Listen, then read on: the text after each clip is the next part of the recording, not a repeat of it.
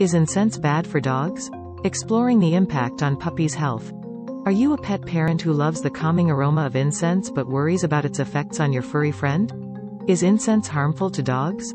Understanding the risks. Common symptoms include coughing, sneezing, watery eyes, and even respiratory distress in severe cases.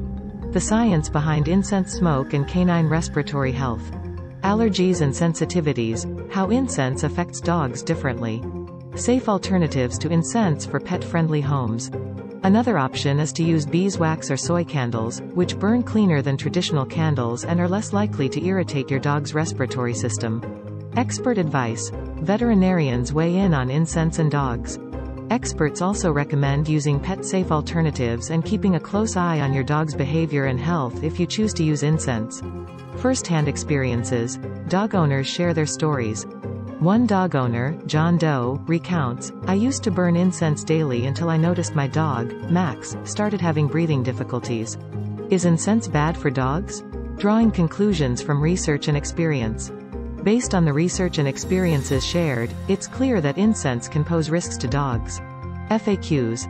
Addressing common concerns about incense and dogs. These chemicals can be particularly harsh on a dog's respiratory system and even trigger allergic reactions. Watch out for these warning signs if you suspect your dog is having a negative reaction to incense.